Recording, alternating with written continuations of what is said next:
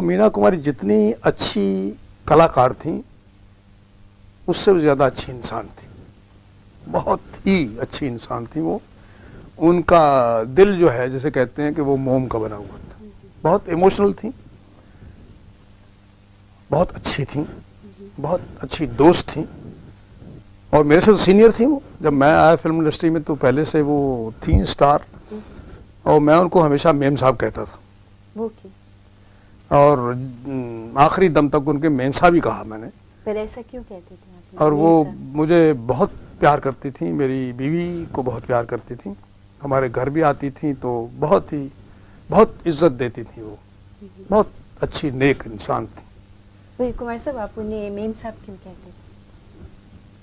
Ma'am साहब इसलिए कहता था कि मेरे से सीनियर थी वो। अच्छा। तो मैं उनको मीना जी हाँ हाँ। या कुमारी जी तो मुझे अच्छा लगता नहीं था। इसलिए हाँ और मैं उनसे मेम साहब ही कहता था और जब मैंने फ़र्स्ट डे भी उनके साथ काम किया तो मैंने उनसे गुजारिश की कि मेम साहब देखिए आप तो सीनियर हैं मैं तो आपके सामने नया हूँ। वो हमारी फ़िल्म थी चराग कहाँ रोशनी कहाँ जो बहुत कामयाब हुई। तो मैंने उनसे कहा कि आप मेरा ख्याल रखिएगा। मुझे कहीं गलती हो तो सिखाइए। तो लगी, बोले, आप तो बहुत अच्छा काम करते हैं, आप ऐसी बात क्यों कहते हैं? मैंने कहा, नहीं, मैं कितना अच्छा हूँ, मैं अच्छी तरह जानता हूँ। आप बहुत अच्छी हैं और आपसे कुछ सीखना है मुझे। और यकीन मानिए कि वो वाकई बहुत मदद भी करती थी। कभी शॉट कोई ठीक नहीं होता था तो वो चुपके से कान में कह देती थी एक दफ़ा और कर लीजिए तो अच्छा है। हम्म, तो ये बातें भूलने की नहीं है ये बातें ज़िंदगी में बहुत काम आई हमारे। हम्म। इसके बाद में और मैं साथ ही ये भी पूछना चाहूँगी कि राजकुमार जी जो अब इस दुनिया में नहीं रहे हैं उनके बारे में आपके क्या कमेंट्स हैं? Not for only this film Rajkumar मेरे बड़े अज़ीज़ दोस्त थे। हमने बहुत सी फ़िल्मों में साथ काम किया। घराना में काम किया, ज़िंदगी में काम किया, मदर इंडिया में पहले काम किया, फिर दिलिक मंदिर में काम किया। तो बहुत ही अच्छे कलाकार थे वो और सारी दुनिया जानती है, मैं कहूँ या ना कहूँ, उससे क्या होता? और बहुत अच्छे इंसान भी थे। लेकिन आम लोग उनको गलत समझते थे, क्योंकि उनकी आदत थी कि जो दिल में हो वो कह देते और दुनिया वालों को ये बात पसंद आती नहीं। वो तो कहते जानी हम तो वही कहेंगे जो हमें अच्छा लगता है। तो ये उनकी खूबी थी, जिसको बहुत से लोगों ने उनकी बुराई समझा। तो मैं दोष दूँगा समझने वालों को, राजकुमार को नहीं। तो बहुत अच्छे आदमी थे, बहुत ही महान कलाकार थे। अब मैं आपकी एक और वेरी सक्सेसफुल फ़िल्म की तरफ़ जा रही हूँ, जिसमें लखनऊ का अंदाज लहजा ज़ुबान और वैसे ही उठना मेरे महबूब की बात कर रही हैं मेरे आप? महबूब की बात कर रही हूँ। मेरे महबूब की सक्सेस की अ, यही बात मेरे महबूब की सक्सेस उसकी पीछे कहानी है उसके पीछे डायरेक्शन है उसकी फोटोग्राफी है उसका बहुत बड़ा हाथ नौशाद साहब का है जिन्होंने वो म्यूज़िक बनाया। मेरे महबूब तुझे मेरी मोहब्बत की कसम वो इस तरह के गाने कौन बनाएगा। और फिर थोड़ा बहुत जो हमसे हो सका हमने भी किया। नहीं आपसे तो ऐसा हुआ कि लोगों ने ये समझना शुरू कर दिया कि जैसे दिलीप साहब का नाम जो दिलीप कुमार है वो पर्दे का नाम है फिल्मी नाम है वैसे वो यूसुफ खान है। वैसे ही आपके लिए भी लोगों ने समझा कि आप वैसे तो मुस्लिम ये सही है सही है ये बात कि मुझे बहुत सैकड़ों खत ऐसे आए कि जो मेरे फ्रेंड्स ने मुझे पूछा कि आपका असली नाम क्या है। हम्म, हम्म, हम्म। कि अनवर मियाँ आप हमें बताइए कि आपका असली नाम क्या है? तो मैंने उनको वापस यही लिखा कि भाई ये जो मेरा नाम है ये मुझे मेरे माँ बाप ने दिया है। और मैंने इसे कभी बदला नहीं है ना बदलूँगा। और हिंदू खत्री। जी। क्षत्रिय हैं आप हिंदू खत्री हैं। हाँ। और ये बहुत से लोगों को मालूम भी होगा मैं भी बता देती हूँ एक बार फिर से। और इस फ़िल्म के बाद बारी आती है अब उस फ़िल्म की जिसमें ट्रायंगल लव था। लव स्टोरी थी। राज साहब ने वो फ़िल्म बनाई और बड़ी सक्सेसफुल हुई वो फ़िल्म और वो फ़िल्म थी संगम। संगम में राज साहब की डायरेक्शन थी ऑब्वियसली सभी जानते हैं। लेकिन राज साहब के साथ आपका काम करने का तजुर्बा कैसा रहा? हमने ये सुना है कि एक गीत के बारे में थोड़ा सा मतभेद था, दोस्त दोस्त ना रहा। आप नहीं चाहते थे कि ये गीत होना चाहिए फ़िल्म में। प्यार प्यार ना रहा। जबकि आपका ये कहना था कि मैंने तो अपना प्यार दे दिया बल्कि। तो आप इसके ऊपर कुछ कुछ रोशनी डालना चाहेंगे? देखिए, बात यह है कि जब राज जी का ज़िक्र आता है तो मेरे दिल के तार जो हैं, वो हिल उठते हैं और उनमें एक बड़ा दर्द जाग उठता। उसकी वजह यह है कि मेरे तीस साल की ज़िंदगी में फ़िल्म इंडस्ट्री में मेरा सिर्फ़ एक ही दोस्त, जिसका नाम था राज कपूर। हम एक दूसरे के बगैर रह नहीं सकते थे। रोज मुलाकातें, अगर रोज मुलाकात ना हो तो टेलीफोन पे बातें, एक दफ़ा नहीं, दो दफ़ा नहीं, चार दफ़ा भी। साथ में रहना, साथ में खाना, साथ में पीना, साथ में हंसना, साथ में रोना, अपनी ज़िंदगी अपने प्रोफेशन की ज़िंदगी, अपने घर की ज़िंदगी, अपने बच्चों की ज़िंदगी, ये सबको हम मिल बांटते थे दोनों। और सच में नहीं तो उनके जाने के बाद मेरी ज़िंदगी का बहुत ही बड़ा हिस्सा जो है, वो मर चुका है। ना फिर मेरा कोई वैसा दोस्त है, ना मेरी किसी के साथ वैसी कंपनी है। उनके चले जाने के बाद मैं तो आप यकीन मानिए बहुत कम फ़ंक्शंस में जाता हूँ कम पार्टियों में जाता हूँ कि वो जब वो थे तो हम दोनों साथ जाया करते थे। तो आप जाएँ तो किसके साथ जाएँ? छोड़ दिया। उसके साथ ही सब छोड़ दिया। बहुत बहुत प्यारा आदमी था वो। बहुत प्यारा आदमी था। फ़िल्म इंडस्ट्री में शायद राज कपूर फिर आएगा नहीं। माँ राज कपूर रोज पैदा नहीं करती। जिनका नाम पूरे वर्ल्ड में बड़ी इज़्ज़त के साथ जी हाँ। दुनिया दीवानी थी उनकी और वो थे इस काबिल। ऐसे ही तो इंसान नहीं बनता। कुछ उसमें बात होती है तो भगवान उसको वो जगह देता। लेकिन यहाँ जो मैंने एक और क्वेश्चन पूछा कि आप इस हक में नहीं थे कि ये गीत रखा जाए फ़िल्म में? उसके बारे में आप बताएँगे इसके साथ वो तो खैर देखिए फ़िल्म बनाने में ये बातें तो होती रहती हैं डिस्कशंस होती हैं।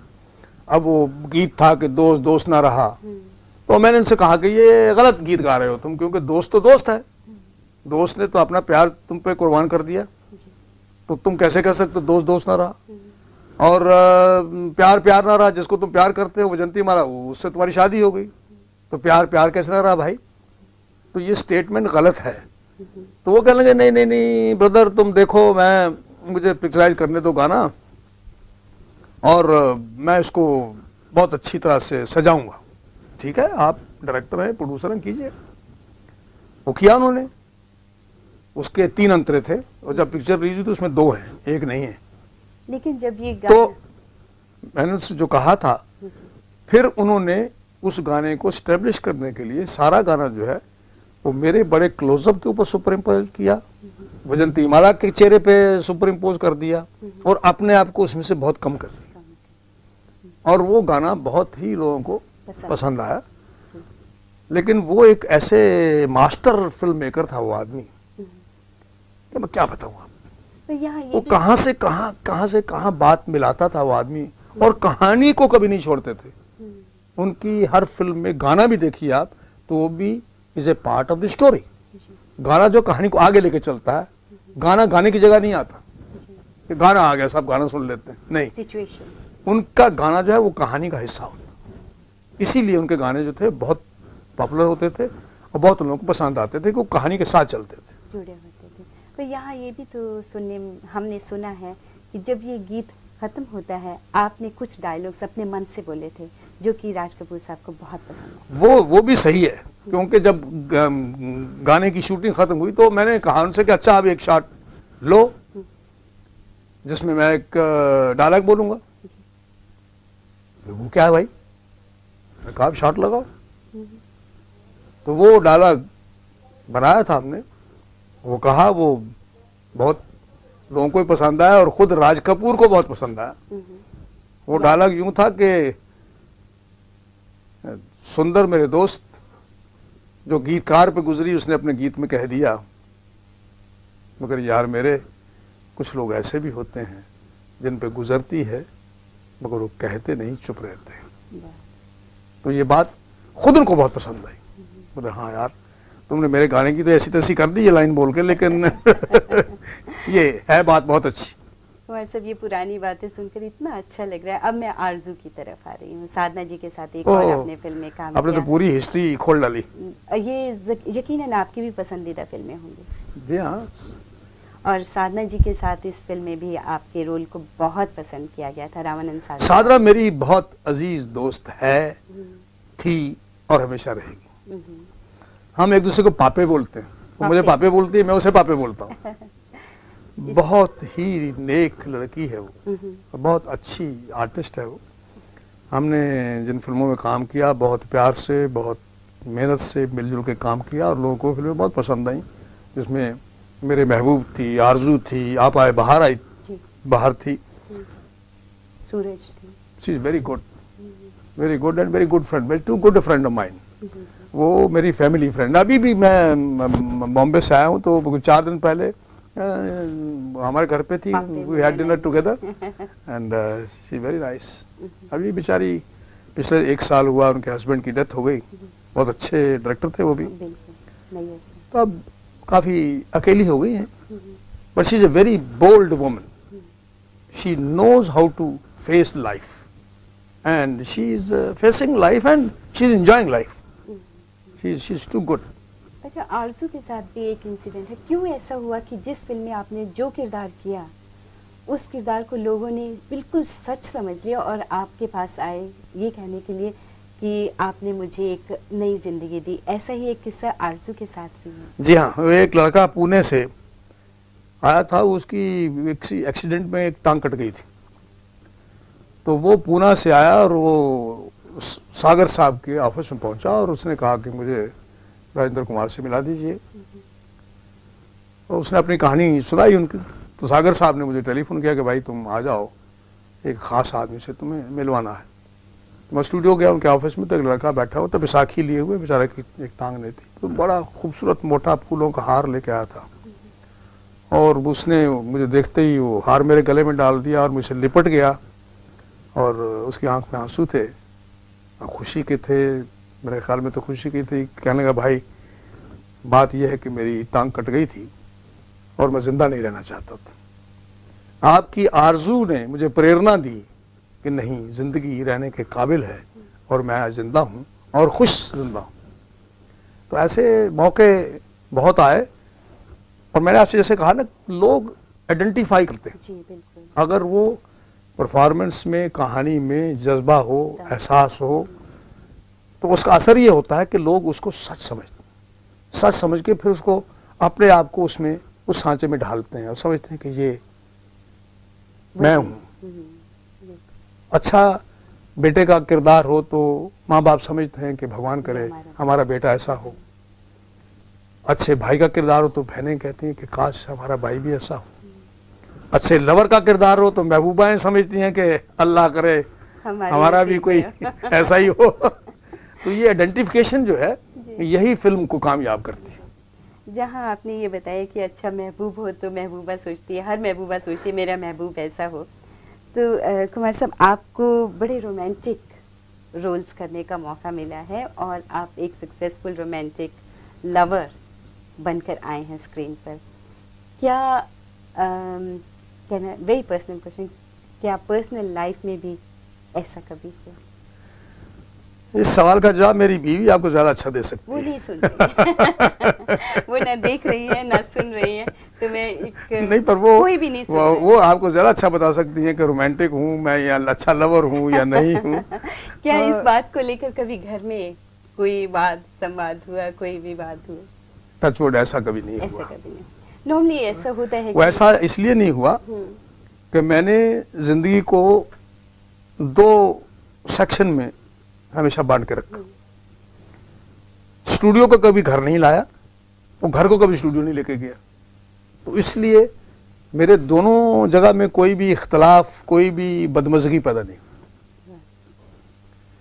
मैंने वो दैट माय प्रोफेशन मेरा पेशा है फ़िल्म में काम करना और अपनी तरह तरफ़ से अच्छी अच्छा काम करना ताकि लोग मुझे पसंद करें। अच्छा एक छोटा सा क्वेश्चन इसके साथ ही। जब आप बहुत कोई रोमांटिक सीन कर रहे हैं क्या what sort of feelings you get that time now I don't think कि देखिए आजकल फीलिंग की बात यह है हम्म, if you don't get feeling you cannot perform to be a good actor you have to have feeling but feeling for that moment how do you switch it? उस उस तार को सीन खत्म होने के साथ तोड़ना पड़ता है। अगर नहीं तोड़ा जाए तो फिर घर बर्बाद हो जाए बहुत मुश्किल हो जाए। तो इस ये भी एक्टर जो होता है मेरे ख्याल में उसका जो दिल है वो एक बिजली के स्विच बोर्ड की तरह से होता है। लाइट ऑफ़ लाइट ऑन और जैसे और अगर वो लाइट ऑफ़ ऑन नहीं कर सकता तो फिर वो एक्सेंट्रिक हो जाता है बह जाता है वो किसी भी राह में निकल जाता। अब मैं एक प्रिंस के बारे में पूछना चाहूँगी। जिसे ये मालूम ही नहीं था पिक्चर के एंड तक कि वो प्रिंस है। और वो था सूरज का किरदार आपका। जिसके बाद आपको बहुत सी फ़िल्मों की ऑफ़र हुई लेकिन वो वही चाहते थे कि वो तलवारबाज भी हो और अ, अ, उस तरह के रोल स्टंट रोल्स भी कर सके। किस तरह के? सच है कि थोड़ा सा तलवार भी चला सकता हो? नहीं नहीं वो देखिए वो सलवार तलवार चलाने की जो बात जो है वो मेरे दोस्त थे कृष्णमूर्ति जिन्होंने फ़िल्म बनाई थी। और मैंने उन्हें मजबूर किया था। कि भाई तुम बहुत पैसे कमाना चाहते हो। बोले हाँ।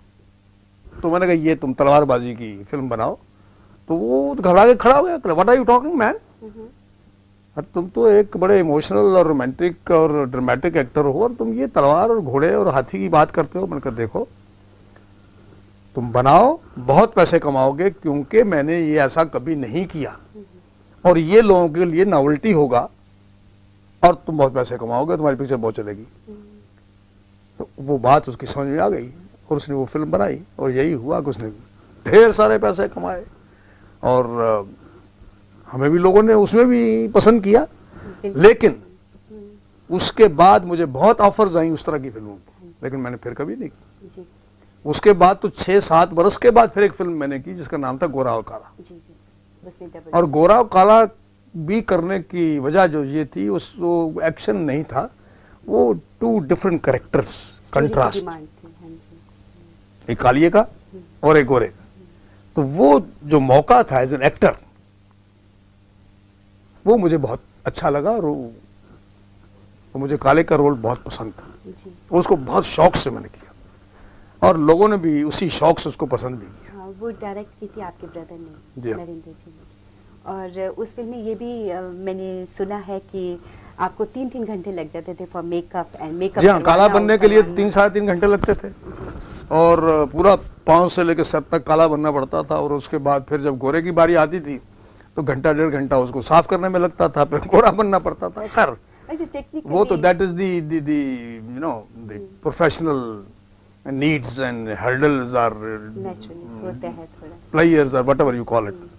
तो बड़ा मज़ा आता था उसमें। कोई टेक्निकली कोई ये बहुत मुश्किल चीज़ थी करना टेक- टेक्निकली बिकॉज़ टेक्निकली मेरे लिए इतनी मुश्किल नहीं थी लेकिन क्योंकि कैमरामैन जो था he was a very expert knew how to take double shots. And my brother was a director and he knew how to manage uh, those shots. And they did very well, very well. Suraj में ही एक गीत जो बहुत popular हुआ था वो था बहारो फूल बरसा मेरा वो आज भी बहुत पॉपुलर है तो मैं जहाँ भी जाता हूँ किसी फ़ंक्शन में या किसी शादी में बैंड वाले होते ना तो मेरी एंट्री पे भी गाना वही गाना बजाते हैं बाहर हो फूल बरसाओ मेरा महबूब आया। तो वो ऐसा लगता है कोई ट्रेडमार्क बन गया वो। आपकी एक पहचान बन गया वो हाँ ऐसा होता है। हम्म। अच्छा उस वक्त में क्या डांस डायरेक्टर्स हुआ करते थे हर डांस सीक्वेंस के लिए जैसे इस फ़िल्म में भी डांसेस थे? इसमें सूरज में? सूरज में। सूरज में यहाँ डांसेस थे वो हीरा लाल जी थे हमारे डांस मास्टर हम्म, तो मुझे डांस खास आता नहीं था और ना आता है। हम्म, और मैं करते हुए बहुत घबराता भी था लेकिन वो अच्छे मास्टर थे थोड़ा बहुत करवा लेते थे और गुजारा कर लेते थे हम लोग। अगर आपको आज की फ़िल्म में काम करना हो और डांसेस करने पड़े तो आप फिर भी कर लेंगे। या तो मैं स्टूडियो से भाग जाऊँगा या वो डायरेक्टर भाग जाएगा या वो डांस मास्टर भाग जाएगा क्यों मुझसे तो होगा नहीं। क्यों झूठ बोलूँ? अच्छा अब ये आजकल के लड़के लड़के कर सकते हैं? हमसे नहीं हो सकता। एक और बहुत ही सक्सेसफुल फ़िल्म और बड़ी ही खूबसूरत कहानी थी फ़िल्म साथी की। एक बार फिर से वैजंती माला जी के आप हस्बैंड बने डॉक्टर थे इस फ़िल्म में पर अनफॉर्चुनेटली एक्सीडेंट होने के बाद आँखें चले जाती हैं और ब्लाइंड पर्सन का रोल भी बहुत अच्छी तरह उस फ़िल्म में सबसे ज़्यादा खूबसूरत बात जो मुझे पसंद थी वो ये थी कि वो मियाँ बीवी की लव स्टोरी थी।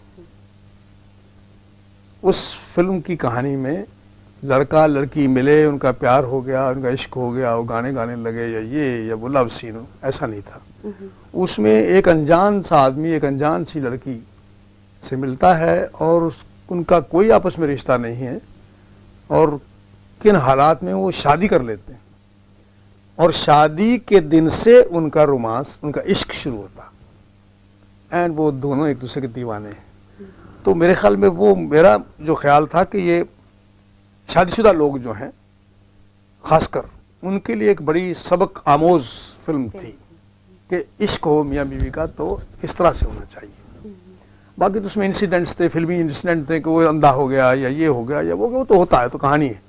लेकिन बेसिक बात उसकी ये थी कि it was a love story beaten husband and wife not beaten boy and girl Kumar साहब एक बात यहाँ मैं पूछना चाहूँगी कि कभी कभी अंधा दिखाते हैं कि आँखें बंद हैं।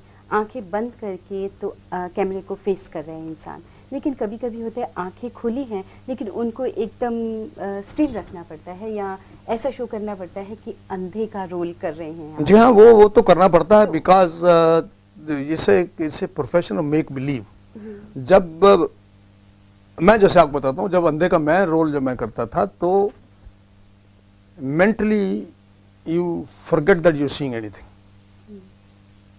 you feel that you are not seeing anything you are blind you bring that feeling and natural that expression comes और अगर ये कि हम देख रहे हैं और अ, सब दिख रहा है और फिर अंधे लग रहे हैं तो होता नहीं you have to blur it out feeling feeling लानी पड़ती है कि यस आई कांट सी वैसे तो हर काम बहुत मुश्किल है, हर प्रोफेशन मुश्किल है, बड़ी मेहनत करनी पड़ती है, लेकिन एक्टिंग कितनी मुश्किल है, कितना मुश्किल प्रोफेशन है? एक्टिंग बहुत ही मुश्किल प्रोफेशन है और ये इतना बड़ा अथा समंदर है।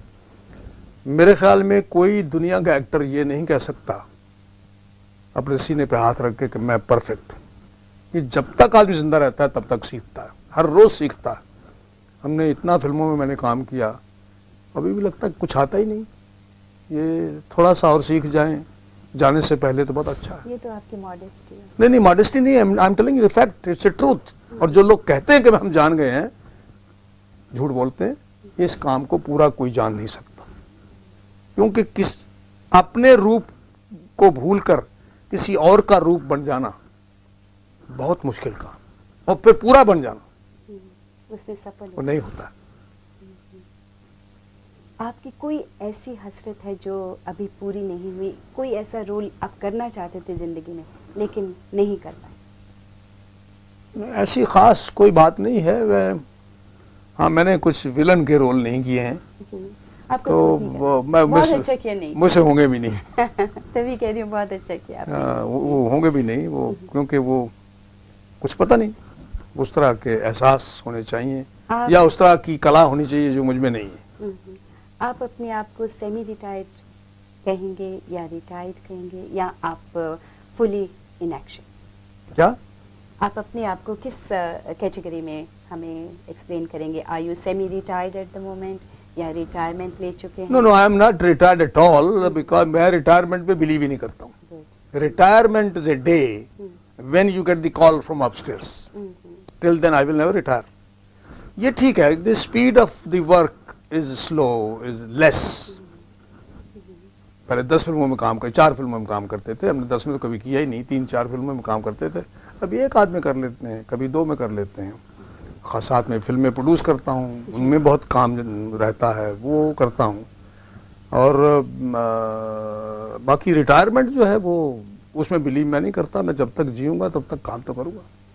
और भगवान करे भगवान करे कि मुझे इस काबिल रखे मेरे हाथ पाँव चलते नहीं कि मैं काम करता रहूँ। ज़रूर हम भी चाहेंगे और हमारे सभी ऑडियंस भी चाहेंगे कि तकरीबन एक फ़िल्म तो ज़रूर साल में ऐसी रिलीज़ हो जिसमें हम आपको देख सकें। बहुत बहुत शुक्रिया। तो ये हम और ये मेरा ख्याल है वादा है कि ये आपकी ख्वाहिश पूरी होती रहेगी। ज़रूर हम चाहेंगे और मैं अभी एक फ़िल्म मेरी पूरी हुई है एक था दिल एक दी धड़कन। तो उसमें मेरे ख्याल में बहुत अच्छा करेक्टर है मेरा। एक था दिल एक एक थी धड़कन। एक थी धड़कन। वो मिर्ज़ा ब्रदर्स जिन्होंने हमारी कहानी लिखी थी लव स्टोरी जी जी। उन्होंने बनाई है। देखिए आप लोगों को कैसी लगती है? ज़रूर देखेंगे हम। और यहाँ मैं ये भी ज़रूर पूछना चाहूँगी कि यूँ तो बहुत से किरदारों में आपने अपने आप को ढाली और ऐसा ढाला कि हर किरदार को जीवित कर दिया। लोगों ने यही समझा कि yes he is the one पर सच बात कहूँ तो ये लोगों लोगों का प्यार है। नहीं नहीं कौन और हमने? हमने मैं उस प्यार के सामने हमेशा मैंने सर झुकाया है और झुकाता रहूँगा। फिर बहुत बहुत खुशकिस्मत हूँ बहुत नसीब वाला हूँ कि लाखों करोड़ों इंसानों का प्यार मिला है ज़िंदगी में इससे बड़ी दौलत और क्या हो सकती है? फिर कौन सा ऐसा किरदार है जो आपको बहुत पसंद है? कोई एक। देखिए बात यह है कि मैंने तो जो किरदार जो किए हैं जो पसंद थे तो किए जो पसंद नहीं थे कभी किए ही नहीं। ये तो आप डिप्लोमेट नहीं नहीं सच बोल रहा हूँ मैंने जो मुझे कभी कहानी या किरदार पसंद आया मैंने उसमें काम ही कभी नहीं किया। जो पसंद आया उसमें काम किया। तो लेकिन कोई तो ऐसा होगा जो आपके दिल को बहुत भाया होगा कि यस दिस इज़ हाँ वो कुछ फ़िल्में ऐसी होती हैं जो बहुत प्यारी लगती हैं। बनाने शुरू होने से पहले भी बनाते हुए बनाने के बाद भी जैसे कानून कहा आपने खुद ही कहा दिल एक मंदिर कहा संगम कहा इवन मदर इंडिया और मेरे महबूब ऐसी फ़िल्में जो करते हुए भी बहुत अच्छा लगता था और लोगों को भी बहुत अच्छा लगा। बाकी ये कहें कि भाई हमने तो कमाल कर दिया। ऐसी बात नहीं, आपने कमाल किया है और ज़रूर इसके गवाह ये आप लोगों आप लोगों की मेहरबानी है बाकी ये सब ठीक है।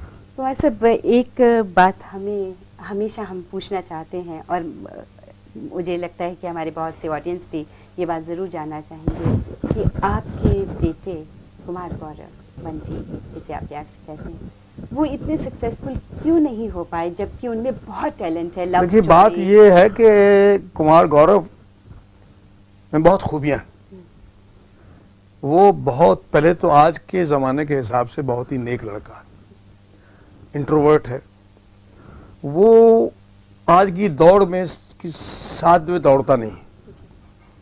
खाम खा में अपने काम के लिए इधर घुसो उधर घुसो से आता नहीं। और जब काम करता है तो बहुत अच्छा करता है बहुत बहुत ही मेहनत से करता है। और बहुत अच्छा अच्छा उसने काम किया है। उसकी पहली पिक्चर थी लव स्टोरी मेरे ख्याल में। लोग तो सुपरस्टार दस फ़िल्मों के बाद बनते हैं वो तो पहली फ़िल्म में सुपरस्टार हो गया था। और सुपरस्टार होना उसके लिए थोड़ा नुकसानदेह साबित हुआ इसलिए कि फिर बड़े बड़े प्रोड्यूसरों ने उसको, उसके साथ फ़िल्में बनाई, जैसे रामान सागर हैं, मोहन कुमार हैं, और सब लोगों ने लव स्टोरी बनाने की कोशिश की। भाई लव स्टोरी तो दोबारा मुझसे नहीं बनी, तुमसे क्या बनेगी? तो वो, और किसी सांचे में ढाल नहीं सके उसे, जिसका उसको नुकसान हुआ। खैर, ये बड़ी छोटी बातें हैं, ज़िंदगी में ऊंच नीच तो आती रहती है बड़े बड़े लोगों के साथ आई। अब हम हमने ऐसे सुपरस्टार देखे हैं जिनकी अठारह अठारह बीस बीस फ़िल्में किसी को देखने पसंद नहीं करता था उसके बाद वो कह लगे ये तो हिंदुस्तान के सबसे बड़े महान कलाकार पैदा हुए तो ये होता रहता है और जिस दिन उसकी से छः महीने में साल में कोई ऐसी फ़िल्म लग जाएगी जो बहुत कामयाब होगी तो तो. उस, उनका उसका शोर हो जाएगा। और अगर उसके नसीब में नहीं है तो हम क्या कर सकते हैं? माँ बाप बच्चे को जन्म दे सकते हैं उसके नसीब तो नहीं बना सकते। नसीब तो उसके अपने हैं। साहब ये मुलाकात मुझे हमेशा याद रहेगी और मुझे उम्मीद है कि आप भी इस मुलाकात को कभी बिल्कुल याद याद रहेगी और इस इंग्लिस्तान की जो गर्मी मैंने पहली दफ़ा देखी है। और उस गर्मी में आपने ये मुलाकात जो की है यानी पसीने छूट रहे हैं ऐसा लगता है दिल्ली में बैठ के ये इंटरव्यू दे रहा हूँ। वतन की याद तो दिला दी बहुत बहुत धन्यवाद बहुत बहुत शुक्रिया